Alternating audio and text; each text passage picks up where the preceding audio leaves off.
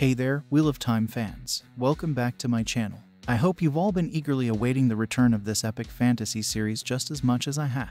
Today, we're diving deep into the season 2 premiere, episode 1 titled A Taste of Solitude. It's been a long time coming, but trust me, it's worth the wait. Before we get started, don't forget to hit that subscribe button if you haven't already, and ring the notification bell so you never miss an update on all things Wheel of Time. Alright, let's jump right into it. The episode kicks off with a gripping scene featuring a young girl named Amy Sharp, who stumbles upon a chilling meeting of the Dark Friends, led by the Dark One's right hand, played by the talented Fares Fares. This secretive gathering discusses the Dragon Reborn and their plans to recruit him. The tension is palpable as they plot their next moves. But it's the interaction with the young girl that truly sets the tone for what's to come. Our beloved Moiraine, portrayed by the incredible Rosamund Pike, is facing a completely different reality after losing her abilities at the end of season 1. She's now carrying buckets of water for a bath, heating it the old-fashioned way.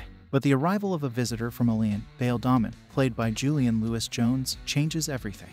Moiraine's curiosity is piqued when Domon shows her a seemingly indestructible heartstone and offers her a mysterious poem. The tension between them grows as they discuss the looming threat of fate. Lan, Moiraine's ever-loyal warder, is grappling with his own challenges. He can no longer feel the bond with Moiraine, leaving him feeling lost and distant from her. Their emotional confrontation sheds light on the strains their relationship is facing in this new world.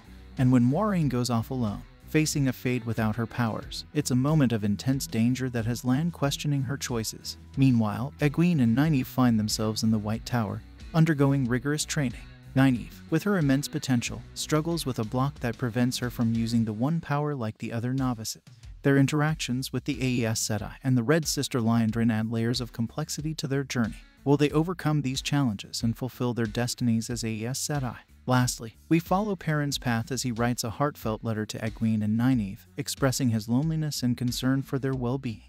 As he travels with the Shienaran group in search of the Horn of Valere and Padan Fain, we see his inner turmoil. Meanwhile, Mat's captivity takes a dark turn as Liandrin manipulates his situation, leaving us wondering about his fate. And there you have it, a whirlwind recap of the Wheel of Time Season 2 Episode 1, A Taste of Solitude. The world of the Wheel of Time is expanding, the threats are growing, and our beloved characters are facing new challenges. If you're as excited as I am to see how this season unfolds, make sure to hit that subscribe button and stay tuned for more in-depth analysis and discussions of this fantastic series. Thanks for joining me today, and may the Wheel of Time keep turning in your favor.